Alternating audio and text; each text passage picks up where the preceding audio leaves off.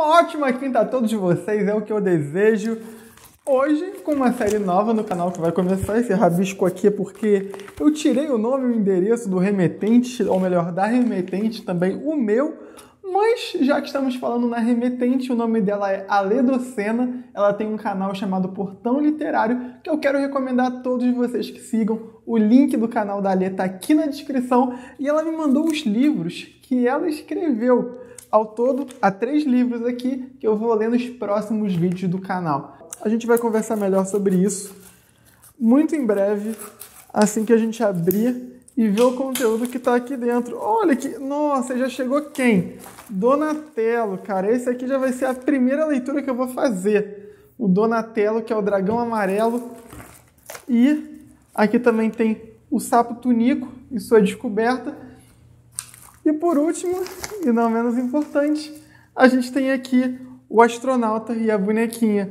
E isso aqui que para mim é uma maravilha, que é um marcador para os livros, ou seja, quando a gente coloca numa página, página 64, depois já vai estar ele lá para a gente não se perder. E aqui eu já estou com Donatello, o dragão amarelo, que foi justamente o livro, aqui, mostrar para vocês, que fez a ponte do nosso canal aqui, o Felipe Rosenval de Histórias, Contos e Fábulas, com o portão literário. Quer dizer, a ponte mesmo foi o Ítalo, né? Que está sempre aqui comentando. Ítalo, um abração para você, meu camarada. Obrigado. Se não fosse você, esse vídeo não estaria existindo.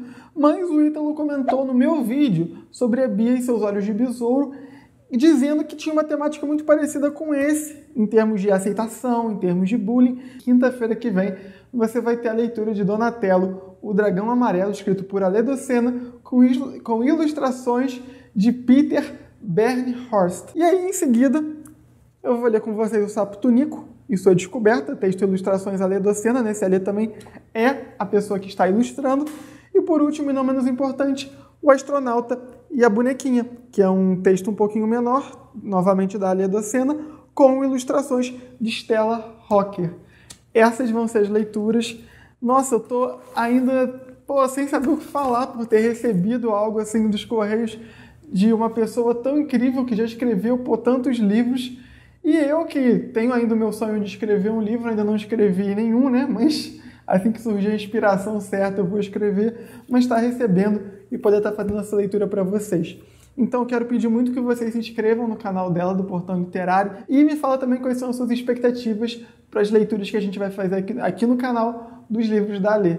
Eu agradeço muito a sua companhia nessa quinta-feira. Em breve tem mais. E quem sabe também no meio da semana não tem um vídeo surpresa para você aqui no canal. Então já se inscreve, que é para ter certeza que você não vai perder. E deixa também sua curtida para o YouTube divulgar ele com todo mundo. Eu vejo vocês no nosso próximo capítulo, quinta-feira, 7 horas da noite.